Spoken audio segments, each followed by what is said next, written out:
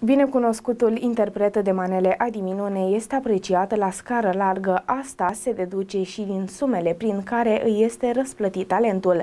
Recent artistul a fost filmat când își scoate banii din buzunar în pauza unui eveniment, iar aceștia nu erau deloc puțini.